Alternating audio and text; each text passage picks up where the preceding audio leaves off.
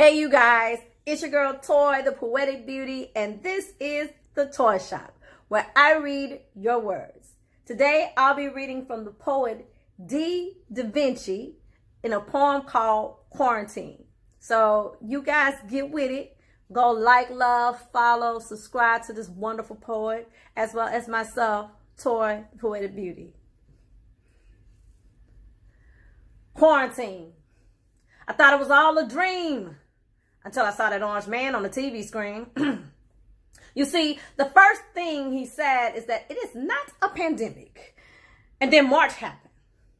It was people lives that people died and mothers, fathers, sisters, and brothers cried. And that's the feeling I feel inside as I wonder why. And then he said he was the first to say it. The first to say what? that this was not a pandemic? Now people are hoarding and the government is saying money well spent. Or the fact you need to apologize, turn to God, and just repent. I don't know. Take that up with him. So the thing I would like to say is I get on my knees and pray. So I want God just take this away. It's not over yet. So quarantine. I thought it was all a dream until I saw that orange man on the TV screen.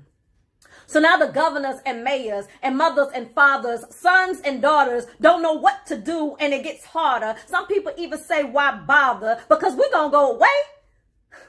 When they say 70% of deaths in Louisiana is black, and that's a fact, and I'm not having that.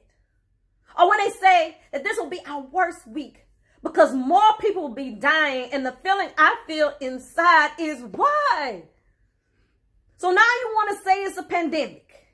So I say the injustice is just that in God we must trust is a must. And I'm still wondering, what's up? This world.